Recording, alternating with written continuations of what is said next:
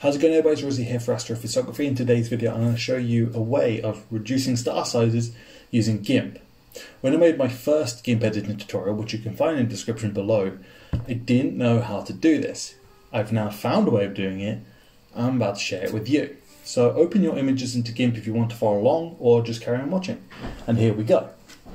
Here we are on GIMP, and this is a narrowband image of the Sadr and the surrounding Butterfly Nebula region. I'm going to show you on this one and with a HARGB composite of the Horsehead Nebula. So first of all, let's begin with the narrowband image of Sadr and the Butterfly Nebula. The first thing I always do when I'm about to do a star reduction is I duplicate my layer so I can get before and after and do any further blending I need to do. So in GIMP what we're going to do is go to layer and then duplicate layer and down here I'm going to call the bottom layer if it were type, I'm going to call this star reduction base. And I'm going to call the top layer the star reduction layer. Now, with the star reduction layer selected, we're going to go to Tools, Selection Tools, and Color Select. I don't use Fuzzy Select because Fuzzy Select is good for selecting large patches connected to each other. So a background sky, this nebulosity, I would use Fuzzy Select for that. If I'm trying to select a specific color, or just the highlights, for example, as with stars, I'm going to use color select. We're going to go to the tool options here on the left hand side. If this isn't showing for you, go to Windows, Dockable Dialogues, Tool Options. This is also where you would find the histogram, which is here, if you don't have it showing already. So in the tool options, I left all this stuff default and I changed the threshold in my case, I'm using threshold 35. I just kind of know this is good for my images. A bit of trial and error is needed. What threshold does, it, will take your sampled color. So in this case, say, well, sampled luminosity in this case. So it's got a value of 50, an arbitrary value of 50. So 35 threshold is basically going to select, so the threshold of 35 is going to select the 50 down to 15 and up to 85. That's the easiest way I can describe what I understand threshold as. It's just how much of each side do you want to add into the selection. So with a threshold of 35 and color select, I'm going to just zoom in here to a bright star and I'm going to click it. And as you can see, it's now drew a marquee around all the stars and all the details that have that same value plus the threshold. So what I mean by that is, for example, if we go to the nebulosity here, you can see it selected the star but not the nebulosity. I'm going to deselect this selection by going to select and none. Or you could use Control Shift and A on the computer, on the PC. With color select, let's bump the threshold up to 90. I'm going to show you what happens. Go select the star. And it's now selected all this nebulosity as well, because even though you can physically see this nebulosity is dimmer than this star, the threshold has made it get included into the selection. And the same is applied for up here as well. All this has been selected. And don't know about you, I don't want that. So again, I'm going to just deselect this by going select and none or control shift and A. And then I'm going to put my threshold back down to 35. Again, like I said, I use a bit of trial and error and I know 35 is about where I want to be. Going to select the star with the threshold of 35 on the star reduction layer. And here we go. This hasn't selected any detail that I want to keep, right? It hasn't selected any nebulosity or anything that I don't want to put this effect on. However, I don't want it to minimize Sadr. So to remove things from the selection, go up here to your free select tool and hold control. And I believe this will be command on a Mac, but there's a button that removes from selection. So hold control, click and drag around what you'd want to deselect. Complete the selection, press enter. And now Sadr has been removed from our selection. If you want to do the same with the bright star, example, you could, but I'm going to leave that in and let that get affected by the star reduction. I'm going to zoom back in this patch of bright stars here because this is going to make it easier just for me to demonstrate what's going on.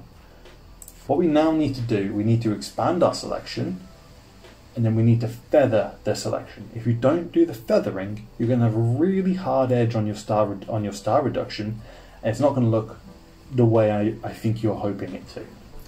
So first of all, we're going to expand our selection, right?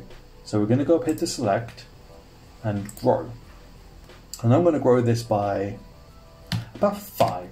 The amount you grow it by depends on your image scale as well as other factors like how magnified your image is, for example or just generally the size of the stars. But usually, because you've done a color select, which will select most of the airy disk of a star, the expand should be fine. Just you don't normally need to go nuts with it. So I think this is actually quite too much. So I'm going to just press Control and Shift to undo and go back in my history. Your also history is up here. But yeah, I think that was a bit too much. So I'm just going to grow, grow it by, by 3. I'm going to see what 3 looks like. This looks much better. It's not selected so much of the sky behind it. This one, I wish it had selected a bit more. If you wanted to, you could deselect that, run the patch on the smaller stars, and then come back and use a smaller threshold and do this star in, separately afterwards. But for the sake of tutorial, I'm just going to press on. Now we need to feather this. For growing the selection, we need to feather the selection now. And to feather, go to select and feather. And Now I'm going to select, I'm going to feather by five again. Practice with this, play around with it, get a feeling what you know good for. A bigger feather is going to, going to contract the selection more, but it will make your edges softer. There's a balancing game here. So I'm going to feather by five. And here's our image at the minute. A lot of dance, a lot of marching ants everywhere. And now, and now for the actual star reduction. So again, with the star reduction layer selected, going to go to filters, distorts, value propagate. Value propagate is basically the minimum maximum filters used in Photoshop. And to reduce the star size, we want to use the mode and click more black. And you can probably immediately see what's just happened. So if I switch the preview off, and the preview back on, much nicer. And you can play around with this by adjusting the blur threshold, which is a bit hit and miss as you can see here, especially it's leaving a halo around the star. So I normally leave these upper, upper threshold is also the same and propagating rate is what I'd probably use to control the intensity of the reduction. The default values 0, 1 and 1 with all these selected I usually find works just fine. So I'm going to click OK. I'm going to deselect this selection by going to select and none and we're going to zoom out and see what's happened. Again, one of the beauties of having the two layers now is I can see the before and after. So this was before and this is after. And I think the after is much better. I think that the star reduction, especially in this image, has really made the nebula punch out. It's it's took a lot of distractions away from the image without removing the stars. So this kind of looks a bit cluttered to me but this looks much cleaner, much easier to see the main subject of the image, which was the nebulosity and the star Sadr. If this isn't to your taste, you can then use your opacity slider to blend it and adjust just how much. It gives you real fine control about how much reduction you're doing.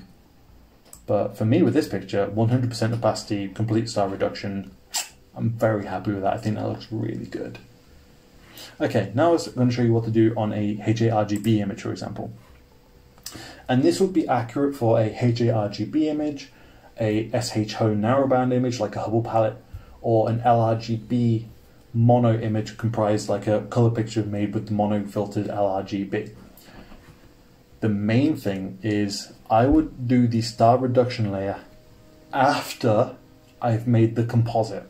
So after I've put the hydrogen alpha layer into the color picture, after I've got all three narrowband SHO lined up where they want to be and editing as one whole image, after I've put the LRGB image together, I would select the master of that image and then make the adjustments to that.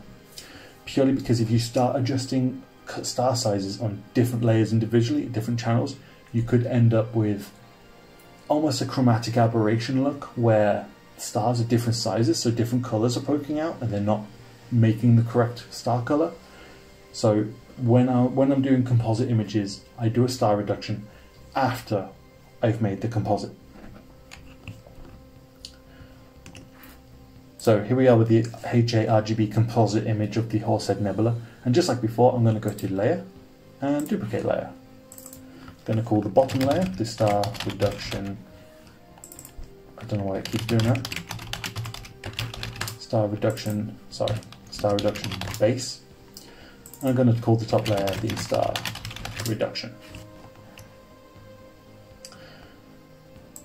And then just like before, I'm going to go to Tools, Selection Tools, Color Select. I'm going to make sure the Star Reduction layer is selected. Threshold 35 mm, might be different for this image, we'll see. Click a nice bright star. And here we go, all these small stars, you can see this is what I was on about. I didn't do a very good job making this composite if I'm honest. You can see this sort of chromatic aberration look. That was just me failing to line things up properly. Now, in this image, it's selected nebulosity, it's selected here on the Horsehead Nebula, it's selected some in the Flame Nebula, these two little nebulas here as well, and some bright stars. So I'm going to go to my free select tool again, and just like in the Sadr picture, I'm going to zoom in. I don't want this nebulosity picking, so hold control, and just draw around what you don't want to be selected. What's going on with the mouse there? complete that selection, press enter. You might notice there's a small star in here, well a pretty large star to be honest. Um, you could try and draw that out and paint that a marquee around that yourself. I don't want to, um, for the sake of tutorial. You see the star here, you could try and draw another marquee around it if you wanted to minimize it. I'm going to leave it as is, mainly for the sake of tutorial. Uh, I want to obviously leave I want to leave Alnitak, this star, this star, this one, this one, these nebulas, and obviously this flame. I want to leave that untouched. So I'm just going to make those adjustments now. So just drawing around them, holding control, and then pressing enter. Right, here we go. Made all the, I've adjusted the selection as I want to, deselected the things I needed to deselect. So just like before, we need to expand it and then feather it. So go up to select and grow. I'm going to again grow by about three. And then I want to go to select and feather. And again, I'm going to feather by about five. I kind of know that's a sweet point for my equipment and my imaging is kind of where I like it to be for my workflow. Feel free to copy those settings if you want to, if it works for you. But I encourage you to have a bit of a play around and see what works best for you. Again, now we're ready, we're going to go to Filters, Distorts, and Value Propagate. Zoom in so I can see what I'm doing, more black.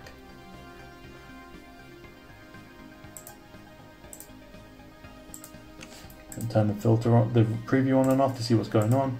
Yeah, okay. And then you can just adjust the intensity using the propagate rate.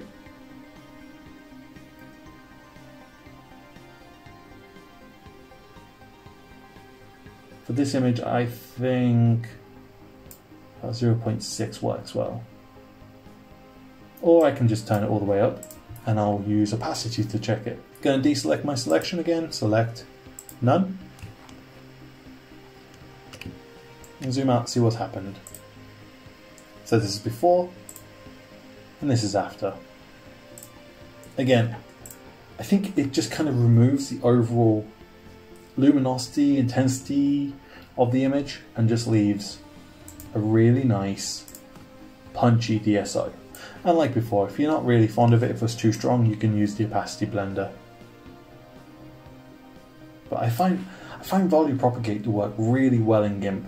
Sometimes with Photoshop, I need to do different opacities and things like that, or multiple passes to get where I want to. But I find Value Propagate works really well in GIMP, so I'll love it for that. But yeah, there you go.